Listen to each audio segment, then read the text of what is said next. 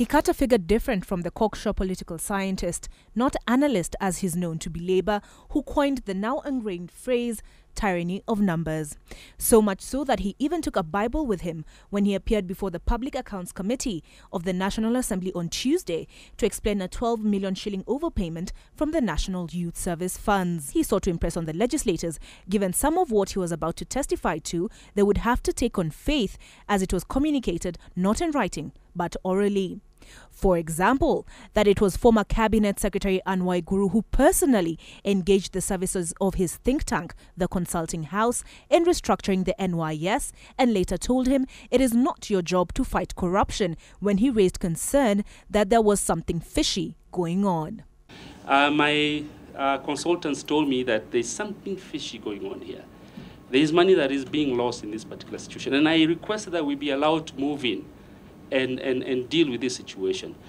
Uh, but we were told categorically that your job at NYS is not to fight corruption. So at that particular point, yeah, it was put categorically to us at Harambee House. At that point, I said, look, and my consultants would come occasionally, and they would tell me that something... Mr. Chairman, was that in writing or it was verbal? I, I swore by my mother's Bible. It was, it was verbal. It was verbal, okay. Yeah. By the four letters, I have them. Honorable. Correction, the Bible is the Bible, not your mother's Bible. But who is this person who told you that your job is not to fight corruption? And most importantly, who in government called you to tell you, Professor Ngunyi, based on your previous track record, we have a job here for you, come and do it? The, the, the person is known and she has a name, and I will tell you who it was. It was the Honorable Minister for Devolution, Anne Waiguru. She's the one who placed a call to me on the 3rd uh, or, or something. It was sometime in February, I can't remember exactly, uh, 2014. Uh, when we were told that our job is not to fight corruption also, that was said in a meeting uh, several times. But as I'm saying, it is verbal. But my biggest fear, uh, Mr. Chair, is that the cartels we disbanded at NYS have begun to reconstitute themselves. The people we moved in there and we, uh, we, we asked that they be transferred into the ministries.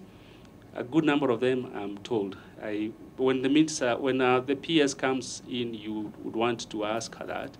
They have all regrouped and we seem to be going back to the model of the 1960s, 1964. And my biggest fear on that, Honorable Chair, in the interest of the public, is that if those cartels regroup, they will make 791 look like a Sunday school picnic or make it look like a Sunday school offering. And it is these corrupting forces, Ngunyi told the MPs he believes, that sought to rope him in as an accomplice by maliciously sneaking the 11.875 million, to be exact, into his company's account.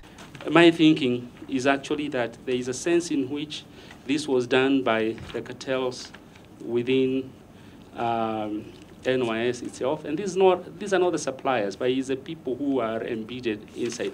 And I'm saying so because at NYS, corruption does not fight back. Corruption corrupts back. And uh, uh, my hunch is that they did this with the intention that I will keep the money. Uh, but uh, my conscience will not allow me to do so. Because uh, this is contaminated money. For Capital TV, I'm Olive Burrows.